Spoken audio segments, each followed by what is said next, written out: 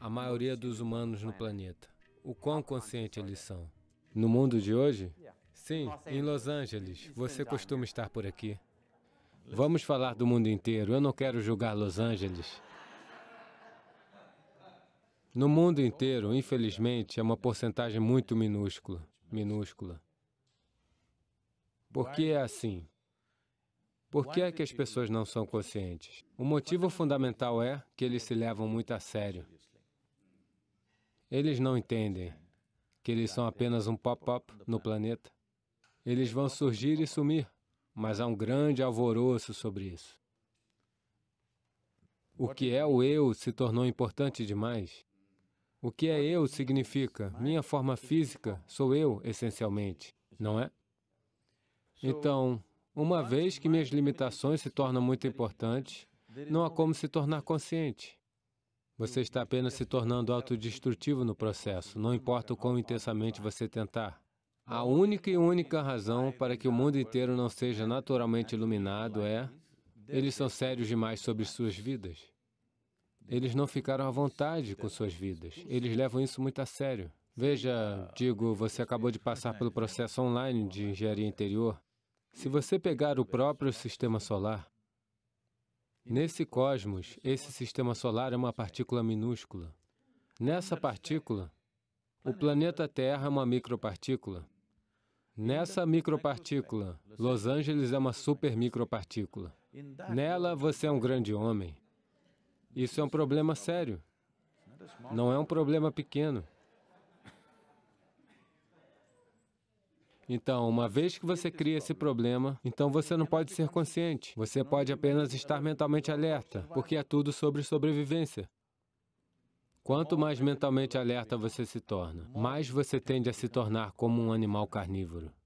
Você sabe, um animal carnívoro é mentalmente muito alerta, porque todo dia ele tem que caçar sua comida. Eu passei muito tempo nas florestas na Índia. Você tem que ver um tigre, o quão alerta ele é o quão alerta ele é. Porque se ele não estiver alerta, ele não vai obter comida, ele vai morrer de fome.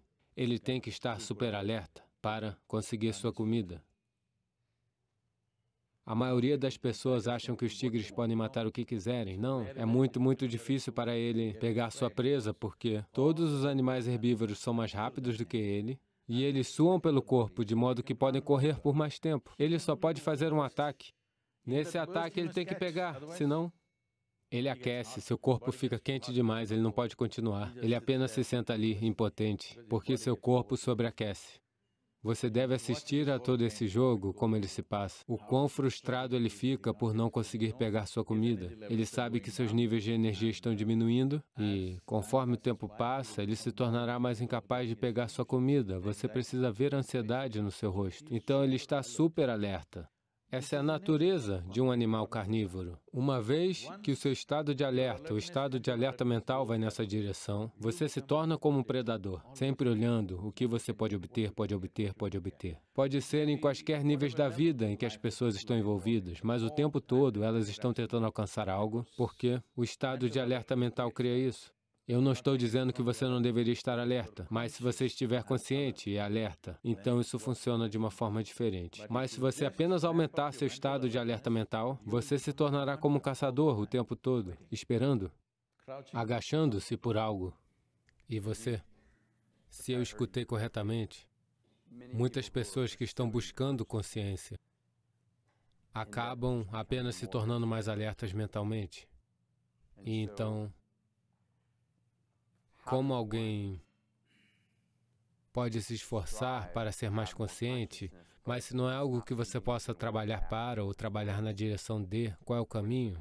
Veja, a própria pergunta quando você diz buscar consciência. Como você vai buscar consciência? Ou talvez uma consciência mais elevada? Não, em que direção você irá buscar?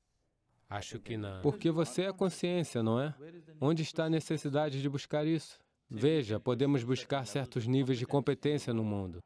Nós podemos buscar uma habilidade, podemos buscar certos níveis de competência no mundo que nos farão um pouco melhores em qualquer coisa que façamos, mas você não pode buscar consciência. Este tem que chegar a um estado relaxado, só então se tornará consciente. Quando isso se torna muito alerta, ele se torna como um animal.